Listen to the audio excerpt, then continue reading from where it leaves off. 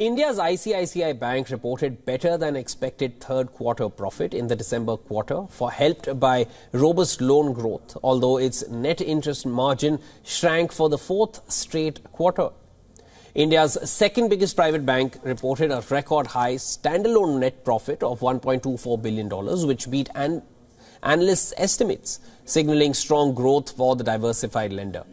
ICICI's net interest margin or the difference between interest obtained on loans and paid on deposits expressed as percentage it came in at 4.43%, which wasn't as bad as the street expected earlier this week. HDFC Bank, India's biggest private lender, reported weak margins for a second consecutive quarter, raising worries that this may be the trend across the industry. ICICI Bank's total loans grew by 18.8% on year surprising analysts again. Overall, ICICI reported one of its best December quarters in history, but it is important to note that most of this earnings growth has been priced into the ICICI stock's value as the heavyweight bank has outperformed the Nifty and Bank Nifty indices by a fairly large percentage.